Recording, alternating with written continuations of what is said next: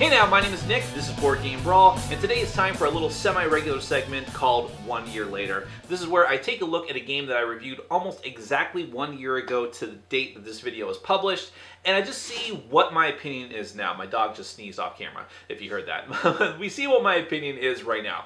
Do I like it more? Do I like it less? Has my opinion stayed just the same, which would actually be kind of boring, so probably not and what, just what is the status of that today? How do I look back on that review? Today we're going to take a look at A Study in Emerald from Martin Wallace and his own publishing branch, Treefrog Games.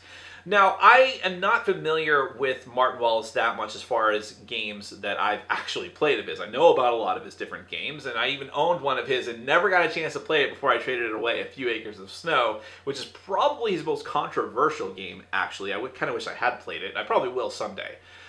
But he's very well respected. Um, a lot of his designs, even if people don't like them, they still say that is a well-designed game. That's a fantastically designed game. And a lot of people love his stuff, even when there's some sort of issue with his game, like people said that A Few Acres of Snow was unbalanced and there were some broken things there, people still like the game. That's how well regarded that he is. And I would like to explore more of his catalog at some point, but for now we're just going to talk about A Study in Emerald. Now this is a game that I don't own, and I never owned it. Uh, a good friend of mine who's in my gaming group, Aaron Silverman, uh, who is fre frequents uh, Board Game Geek actually, you'll see him around a lot, uh, but he really loves uh, Martin Wallace and his stuff and was really excited for a study in Emerald because I also think that he likes the Cthulhu mythos quite a lot. He was the person who uh, I, one of the people that I played uh, Cthulhu Wars with, and he was very excited for that too. And Study in Emerald was originally on Kickstarter, at least for the initial release. I think it was going to be released no matter what, but they did like kind of a pre-order thing through Kickstarter uh, for quite a bit of money. Uh, before eventually getting uh, exclusive distribution in the US from Cool Stuff, if I'm not mistaken. Study in Emerald, if you're not familiar with it, it's, it's very hard to explain. It's an area control game, but with a little bit of deck building and hand management and just a little maybe worker placement. I don't know if that's quite the right word, but there's a lot of different things going on in this game. The theme of it, it's actually based on a story, a short story by Neil Gaiman, Gaiman called uh, same name, Study in Emerald, which is basically Sherlock Holmes meets Cthulhu. There's uh, the Great Old Ones took over the Earth back in like colonial time, not colonial, um, Victorian times, and Sherlock Holmes is leading like a band of the resistance against the Great Old Ones. Moriarty is leading the um, the people that are for the Great Old Ones and are trying to keep them around, I guess, and fight back against the resistance. So how the game works, it's very odd in a lot of ways. Aside from all those mechanisms that I already mentioned, it's essentially a team game, but not. so one one uh, players get like hidden role cards telling them whether they're that's what it is a loyalist or um, uh, uh, the resistance or revolutionary. And so you know what team that you're on, and you're kind of sort of working with your other teammates, but there's still only going to be one winner at the end of the game. The problem is, whichever team has the lowest scoring uh, player is going to be immediately eliminated from the game. So you can you're trying to win by yourself, but you're also trying to keep your teammates elevated so that they don't drag you down. In which case, you could have a million points but if your teammate sucks, then you're gonna you're gonna lose anyways. It doesn't matter. So it's very weird but interesting semi co-op aspect there. And there's, uh, like I said, there's a little bit of deck building, each representing different characters and events from the story. You can purchase them, put them in your deck. You can try to either protect the great old ones that are represented on different areas of the map, or you can try to assassinate them with little bomb symbols that are on your cards, and you have tokens that are actually moved around representing your forces. People can turn into vampires, people can summon zombies, it is not an exaggeration to say that there's a million things going here. Well, I guess it is an exaggeration because a million is a million, but there's a lot of things going on on the board. And it looks great too. Aesthetically, uh, people said the board was too busy. I didn't think so. I thought it was okay. Maybe I said that in my initial review, but I disagree now. I think it looks great, and I like all the artwork. It's got a great theme. It's got a great feel to it. So how do I feel about it? And I, I think that my initial review was kind of all over the place. Ultimately, I settled down on it being positive, but I didn't know what to make of it. By the time I did my review, I'd already played it like four times. I played it maybe one more time since then, and it was very close proximity. So it's been a while. Like I said, I don't own the game. I still don't know what to make of this game because so many different things are going on. And you can sit there and tell me until you're blue in the face that it was incredibly well play tested and very well designed, and everything is balanced, and everything works smoothly. I still don't know that I would believe you because so many different things can go on during the course of the game that just totally throw everything out of whack. Someone with the vampire power could just completely break the game and swing things back in that person in their team's favor. Same thing with someone with the zombies, because you can actually end the game just with the zombie power. If I remember correctly, if you flood the board with too many zombies, the game just ends. Um, and then it's the assassinations can be a huge swing in the game, but sometimes they might not. Sometimes it doesn't play a, a big part in the game at all.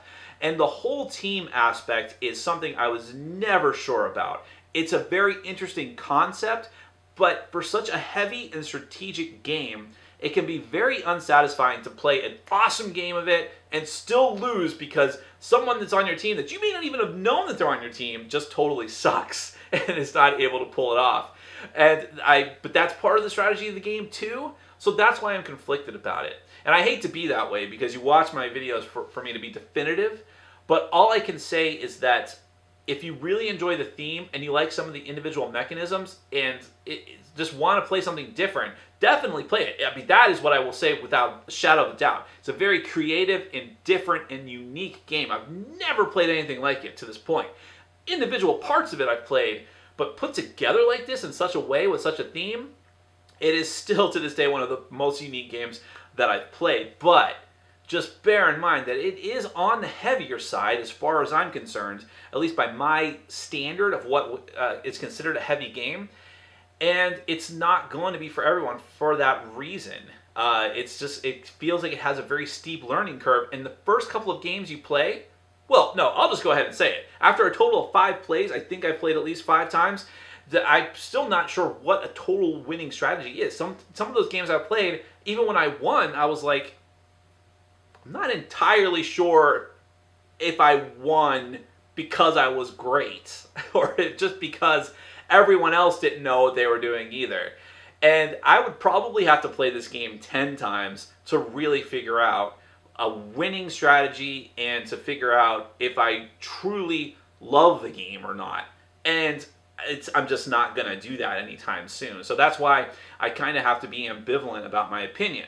But let me say this and this is a, a plot twist. Dun dun dun! The game apparently is going to be reprinted in a new version. Not just reprinted, but they're gonna. Martin Wallace said he's gonna release a streamlined, simpler version. To sort of paraphrase what he said, he announced this I think on Twitter somewhere or on some blog post, and Eric Martin picked it up and talked about it. You can find it on Board Game Geek somewhere. Maybe I'll link to it in the bottom. And that got people really divided. Some people were like, yes, finally, I wanted this game to be easier, simpler, streamlined. Now I'm going to have that opportunity and get more people into it. And other people were like, eh, no. If I mean, there was one particularly nasty commenter on Eric Part on Eric Martin's post who said something like, uh, essentially, if you think that the original game was too complicated and too hard to understand, you're dumb. I mean, that's essentially what he said.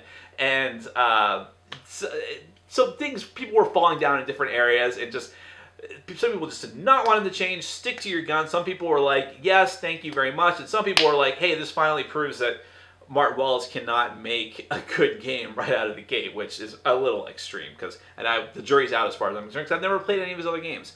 So I am going to try that one for sure if I can. He has a very odd like subscription service to get his games, which makes his games really hard to get and very expensive. So I would love to try it. I don't know if I'm going to get the opportunity easily, but I'm the whole thing is fascinating to me. The game itself is fascinating to me. The reaction that people have to it, the varying different opinions, the fact that this was one of the highest viewed videos on my channel for quite a while. It's still pretty up there because no one else was really talking about this game. I think to, the, to date, even the Dice Tower hasn't reviewed this game because it's kind of, it's just sort of been kind of forgotten about by people that are not diehard Wallace fans. And I think that this, because of its accessibility, was a bit of an issue. But man, I'll say, I love it when games have unique themes and unique gameplay and just bring a different experience. And A Study in Emerald has that in spades. It just had issues being accessible to people and being something that uh, would leave a solid impression in your mind. I don't know if I'm even saying that correctly. And for that reason, I'm eager to try a more streamlined version and see what that's like. But I think that if you have the opportunity, try it for sure. Because, you know, to this day, I still think about the game and what's going on with it and whether or not I could have done better, whether or not I had it figured out, or whether or not I was just completely confused and out of my mind, which kind of fits with the Cthulhu theme.